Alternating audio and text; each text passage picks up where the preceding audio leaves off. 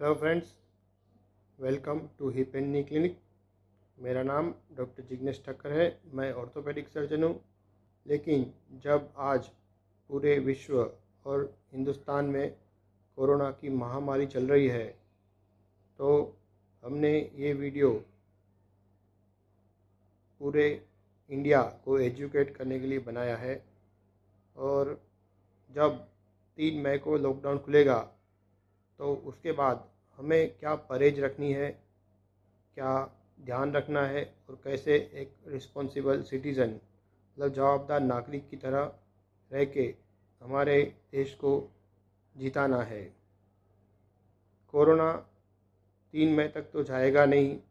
Corona going to stay and we have to live with corona लेकिन अगर हम अपने बिहेवियर और लाइफस्टाइल में थोड़ा परिवर्तन करें तो हम इस महामारी का अच्छी तरह से सामना कर सकते हैं और इस महामारी से अपने देश इंडिया को जिता सकते हैं। और यही मौका है हम इस देश को जिताने का और इस इंडिया को पूरे देश में अपना नाम आगे रखने का कि हमारा देश कोई भी महामारी से एकजुट होकर लड़ सकता है। लेकिन उसके लिए हमें एक अपना बिहेवियर चेंज करना पड़ेगा और हमें अपना एक न्यू नॉर्मल क्रिएट करना पड़ेगा टू फाइट अगेंस्ट कोरोना और उस न्यू बिहेवियर से हम दूसरी भी महामारी से बच सकते हैं। जैसे कि कोरोना कैसे फैलता है? तो कोरोना है वो एक तो हवा के थ्रू फैलता है थ्रू एयरबोर्न पार्टिकल्स और दूसरा है कि थ्रू वेरियस सरफेसेस वो अलग अलग सरफेस पे वायरस उसका रहता है और हमारी बॉडी में आ सकता है। और हमारी बॉडी में मेनली वो नाक, आँख, कान और मुँह से जा सकता है।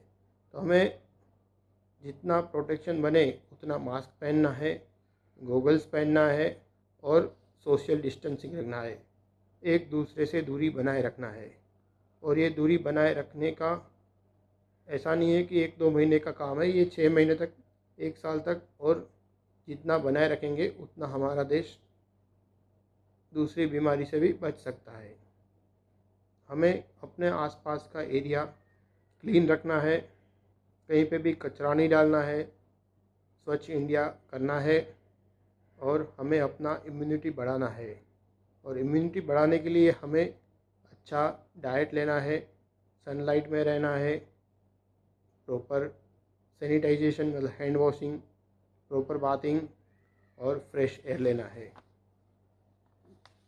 जब लॉकडाउन खुलेगा तो हमें सोशल डिस्टेंसिंग बनाए रखना है, घर से बाहर निकलने के टाइम मास्क पहन के रखना है, वो आप कपड़े का पहन सकते हैं थ्री प्लाई पहन सकते हैं, लेकिन उसका प्रॉपर वॉश करना, गर्म पानी से धोना और थ्री प्लाई मास्क को प्रॉपर डिस्पोज करना बहुत ही ज़रूरी है। और हमें अपने आँख, नाक और मुँह में कहीं पे टच नहीं करना, जब हम बाहर से कहीं पे टच करें। और हमें कोई भी सरफेस पे जितना बने उतना टच करना नहीं है। और घर पे आके अपने कपड़े निकाल के डायरेक्ट गर्म पानी में रख देने और नाक हाथ ले लेना है, ठीक है? और जितना बने उतना हॉस्पिटल जाने से परहेज़ रखना है। जो अगर माइनर प्रॉब्लम है तो आप डॉक्टर से फ़ोन पे टेली कंसल्टेशन भी कर सकते हैं वीडियो कंसल्टेशन भी कर सकते हैं। अगर आपको ज़रूरत होगी तो डॉक्टर अपने हॉस्पिटल में या कहीं पे रिपोर्ट करने के लिए भेजेंगे। बाकी जितना बने उतना घर पे ही रहना है। अगर घर से बैठ के काम हो सकता है तो बाहर निकलने की कोई ज़रूरत नहीं है। क्योंकि हॉस्पिटल एक पोटेंशियल सोर्स है। कि वहाँ पे ज़्यादा लोग विज़िट करते हैं, पूरा अटेंडेंस अटेंडर ज़्यादा रहते हैं। तो वहाँ पे सरफेस डॉक्टर और हॉस्पिटल तो क्लीन करते ही है, लेकिन फिर भी वहाँ से एक दूसरे को इन्फेक्शन लगने का चांस है, उनके स्टाफ को लगने का चांस है डॉक्टर को भी इन्फेक्शन लग सकता है, और एक आदमी है वो चालीस से पचास लोगों को इन्फेक्ट कर सकता है, और वो पचास लोग, दो हज़ार लोगों को इन्फेक्ट करेंगे ऐसे ही ये बीमारी महामारी बनी हुई है। वो हमें एक रिस्पॉन्सिबल जवाबदार नागरिक बन के उस महामारी से अपने देश को बचाना है और हमें वॉरियर बन के इस देश को जिताना है। अगर हर नागरिक अपना ये रूल्स का पालन करेंगे तो इस देश को आगे आने से कोई नहीं रोक सकता है। हमें खुद रिस्पॉन्सिबिलिटी उठानी पड़ेगी और खुद ही देश को जिताना पड़ेगा। क्योंकि हम नहीं करेंगे, या हमें ये चेप नहीं लगेगा, ऐसा सोचना एक मूर्खता है। तो बने उतना घर पे ही रहना है वर्क फ्रॉम होम करना है और हॉस्पिटल में माइनर प्रॉब्लम के लिए विज़िट नहीं करना है।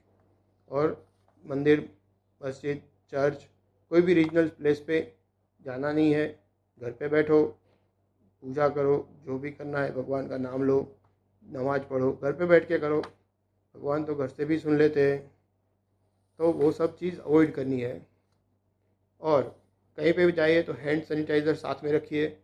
हर आधे घंटे, एक घंटे पे हैंड सैनिटाइजर यूज़ करिए, जिससे कि आपके हाथ में जो वायरस है, आएँगे, वो नाश हो जाएँगे तो आप सेफ़ रह सकते हैं और अपने घर को भी सेफ़ रख सकते हैं।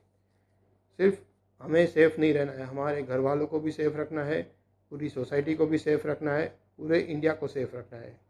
तो अगर हम सेफ़ रहेंगे तो सब सेफ़ रहेगा। तो ये प्रोटेक्शन स्टार्ट हमसे खुद से करना है। हम सेफ़ नहीं रहेंगे तो हमारे घर वाले इन्फेक्ट होंगे। हम, हमारे घर वाले हमारी सोसाइटी हमारा इंडिया और एक बार जो महामारी फैल गई तो इसको रोकना बहुत ही डिफ़िकल्ट है।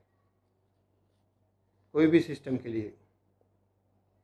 तो हमें एक जवाबदार नागरिक की तरह इस महामारी से जीत हासिल करनी है। तो आप अगर ये रूल्स फॉलो करेंगे और जवाबदार बनेंगे तो इंडिया जीत सकता है। और आज हम पहले इंडियन है, उसके बाद में हमारा धर्म है।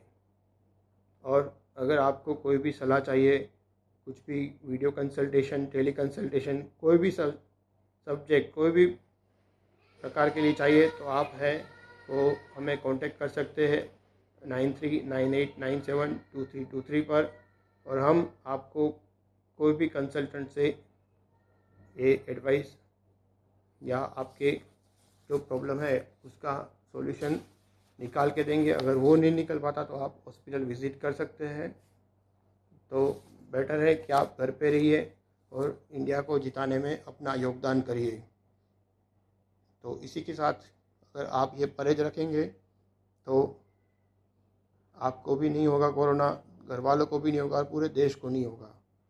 तो अभी जितना हो गया है, वो सब न्यूज़ चैनल देखे, एक बार देखे, दो बार देखे, लेकिन पूरे दिन वो देखने से आपकी जीवन में कुछ होने नहीं वाला है। आप अपना